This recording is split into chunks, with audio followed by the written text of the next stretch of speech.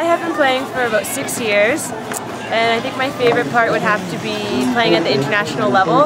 Um, there's a lot of teams here, so it's great to play at that level in our hometown. Shortstop Jess Hodge almost wasn't a renegade this week as she had the chance to try out for Team Canada two weeks ago at their national selection camp in the Yukon.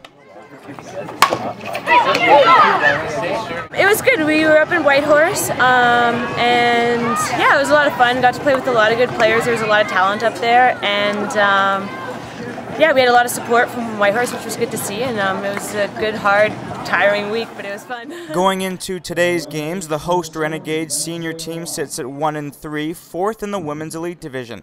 They have four games remaining and play today against the Renegades Elite and Venezuela Elite.